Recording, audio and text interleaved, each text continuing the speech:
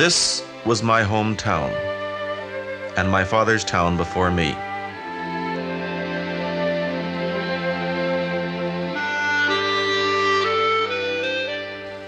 It's a quiet place, a few stores, a restaurant, three, maybe 400 people, hard workers, most of them.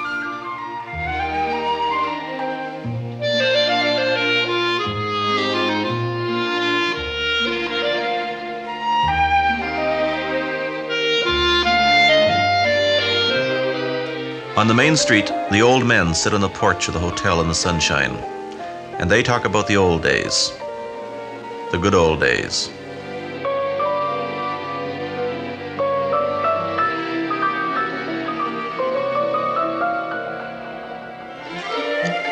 The park is always full of kids.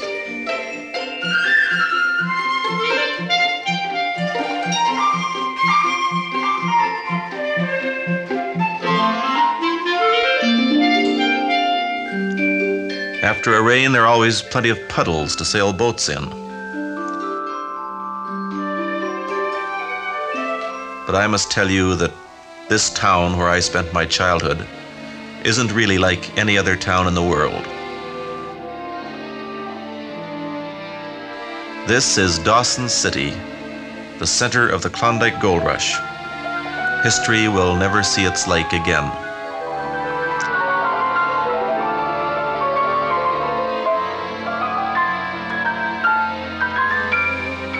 Every summer, when the seeds of fireweed drifted across the valley of the Yukon River, we kids used to roam through these decaying buildings. Some of them had been locked and barred for almost half a century. You could buy anything in Dawson City in its heyday, I remember my father telling me. Anything from oysters to opera glasses. You could buy a dance hall queen for her weight in gold, and one man did. His name was Chris Johansson, and he lived on Whiskey Hill.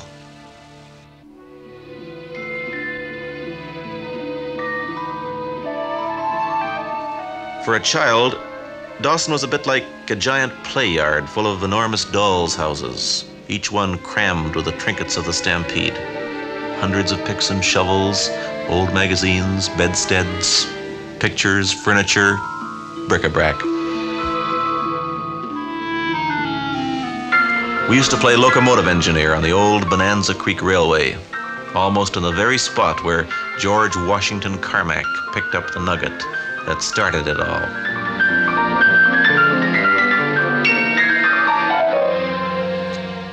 We played steamboat captain too. These deserted stern wheelers were part of a fleet of, oh, there'd be 250 that steamed up the Yukon in the stampede days. Floating palaces, brightly painted, loaded with champagne and dancing girls and gold.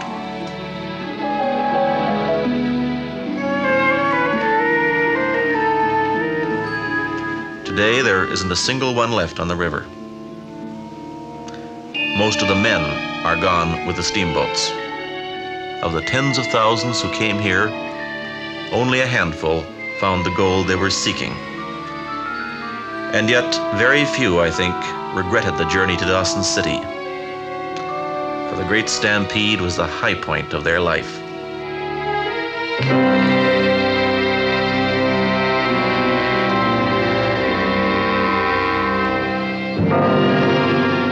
The winter of 1897. Beyond mountains, 2,000 miles north from civilization, the cry was gold. All over the world, a million people laid plans to go. A hundred thousand actually set out. But the going was so hard, the way so weary that more than half turned back. My father was one of those who struggled on.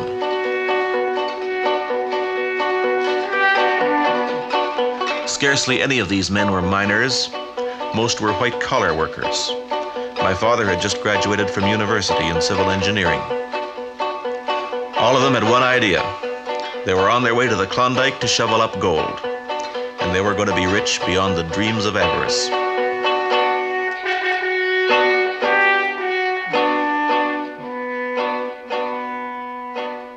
the Chilkoot Pass. This scene, above all others, remained in my father's mind to his dying day. Even when his memory began to fail, this spectacle remained. You had to pack a ton of goods up this terrible 45 degree slope of sheer ice, 100 pounds at a time, over and over again, a year's outfit. Without that, the Mounties wouldn't let you enter the Yukon. You couldn't stop to rest, or it might be hours before they'd let you back into that endless human chain.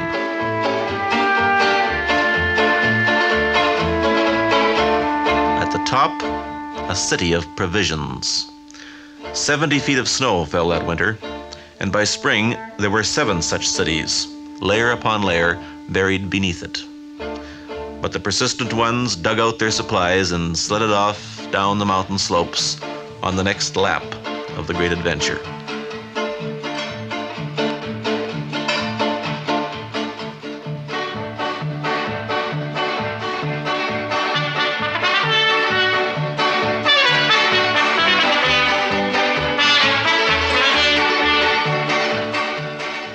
Lake Bennett, at the head of the Yukon River, 20,000 men built 7,000 homemade boats. Few of them had ever handled a saw or hammer before. They cut the planks by hand and then they used oakum to caulk the seams, or pitch, boiled out from spruce gum. Sometimes they even used their own underwear. And then the word the river's clear of ice. And on June 3rd, 1898, the fantastic Armada was launched.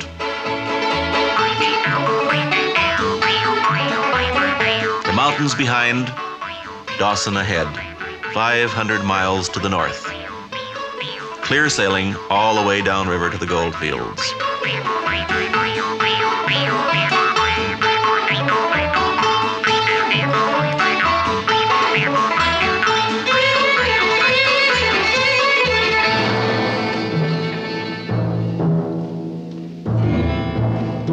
Most of them were too late. They found almost everything staked valleys, hills, even moose pastures. Here was El Dorado Creek, the richest of all 31 claims, each worth more than a million, but all owned by men who'd been on hand 18 months before. All the land was being torn up by these early birds as they worked feverishly with sluice box and rocker. For the newcomers, nothing. Only a few got claims, and these soon came to realize that you just couldn't scoop up the gold by the shovelful. You had to burn your way down through the permafrost 30, 40, perhaps 100 feet.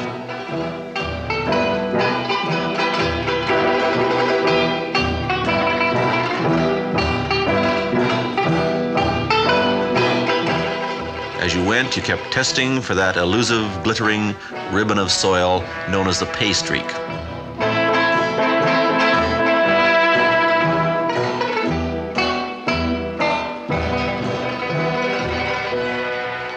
It might take 10 months of back-breaking toil before you knew how rich you were.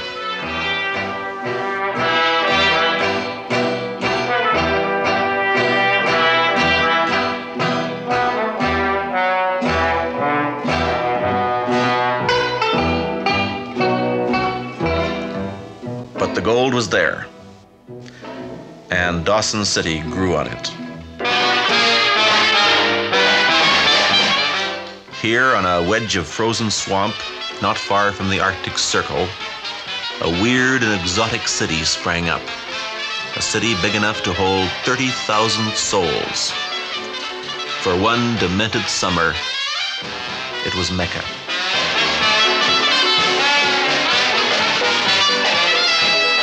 Here, too, ground of another kind was being staked out by the early birds, who would never need to swing a pick handle to fill their pockets.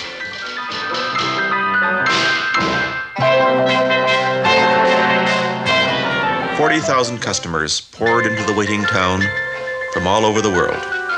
Australia, Greece, every province in Canada, every state in the Union.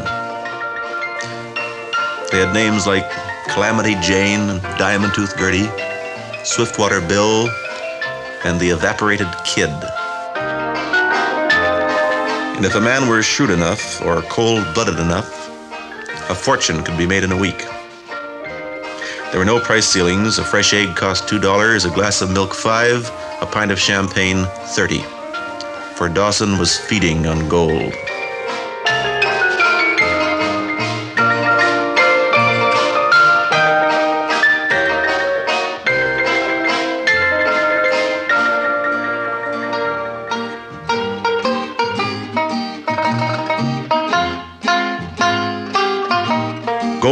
In from the creeks on mules' backs while the whole town watched. Watched and waited.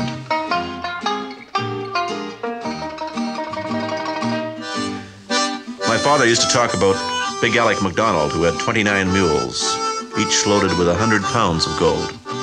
He'd been broke two years before until he bought a million dollar claim for a sack of flour and a side of bacon. He lived to eat off gold plate and ride a carriage down the Champs Elysees. But when he died back here in the Klondike, he was broke again. That was the way it went down the hatch. You could buy wine enough to fill a bathtub. And if you were so inclined, and somewhere, you could pay a girl to take a bath in it. You could do anything if you had enough gold.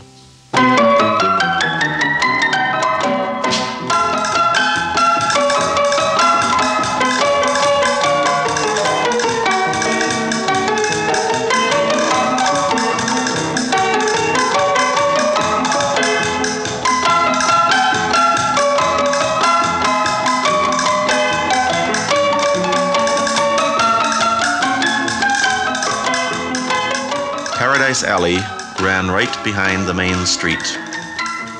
Every residence had a name on the door.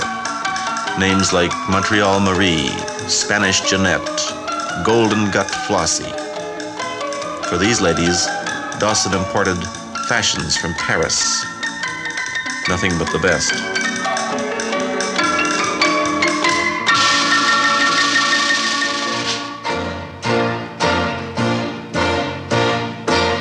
With all its gaudy glitter, Dawson was never a lawless town. The Mounties saw to that. They might overlook the sins of the flesh, but they didn't sanction anything else. Nobody could pack a gun, and all the saloons had to close on Sunday. The Sabbath was so holy that one man was actually fined for chopping his own wood on the Lord's Day. You know, it's almost inconceivable that the law should have been maintained so firmly in a city nourished by that metal which is said to be at the root of all evil.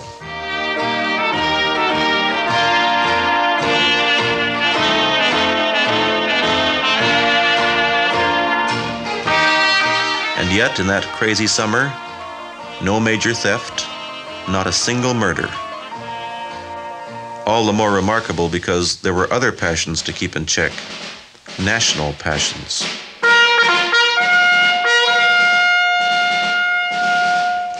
Dawson was an American town on Canadian soil, subject to the Queen's laws, but populated almost entirely by strangers from the United States. And so the great festive day was a combination of Dominion Day and the 4th of July. It was a perfect moment for a celebration. The last stragglers had attained their Mecca, the miners in the creeks had finished their winter's work the carnival had reached its climax.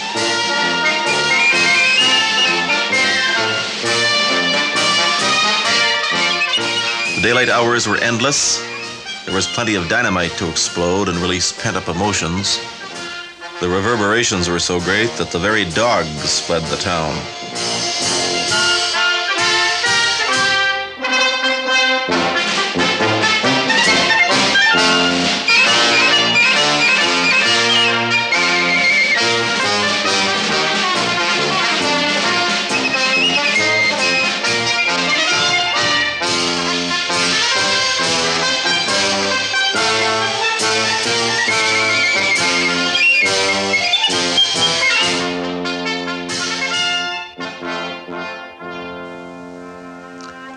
Were they celebrating, really?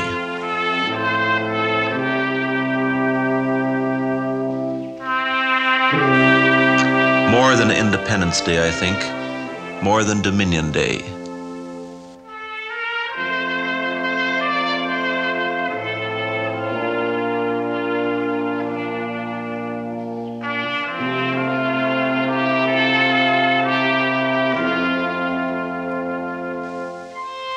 Each man had a great deal to think about. All were at least 2,000 miles from home. Some were 10,000. On the face of it, they had very little to celebrate. Only a few had got any gold, and very few of these were able to hang on to it. And yet, after the long months on the passes and the lakes and the rivers, they found themselves seized by a curious mixture of feelings, not the least of which was a strange elation. It's hard to believe, but after coming all this way, many of them never bothered to look for gold at all. It was as if somehow they'd already found what they were seeking.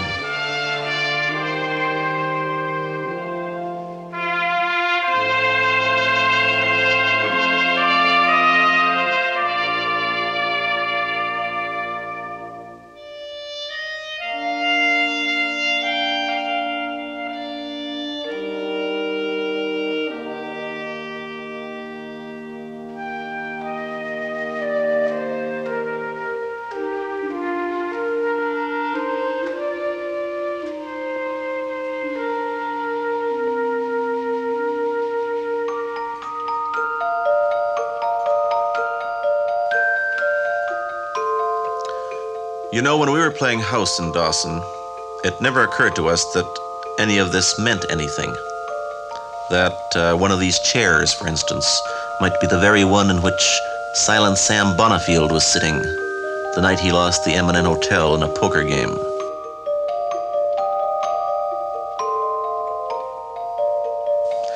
It never occurred to us that each Victorian picture told its own story, that these two paintings had once been worth more than gold itself to a man who traded half his claim for them. No ghosts of the past return to haunt us here in these silent rooms.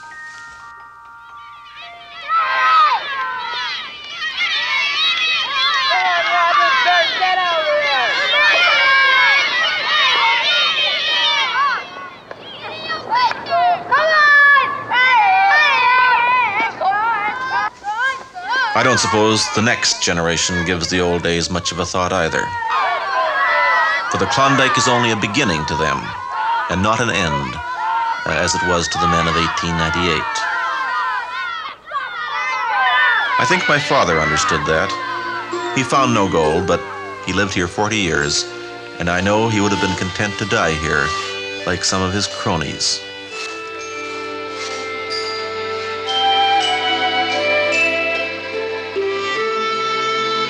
But that was not to be. He knew that each of us had his own Chilkoot to conquer of another kind. And so we left Dawson City behind, and I don't imagine that I shall ever see it again.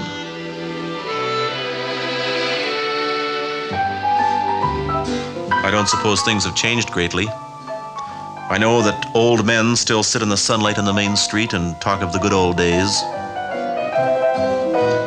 The good times, the times that are remembered, usually turn out to be the hardest times.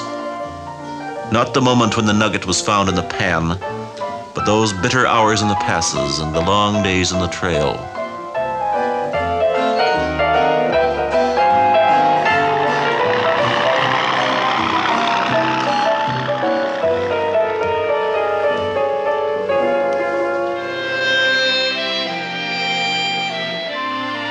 Rush was something like a war. It caused many casualties. But those who survived it and learned from it were strangely ennobled.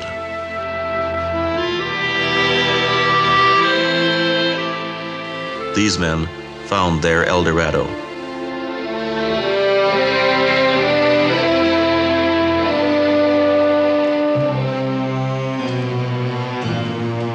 Well, That's my hometown, Dawson City.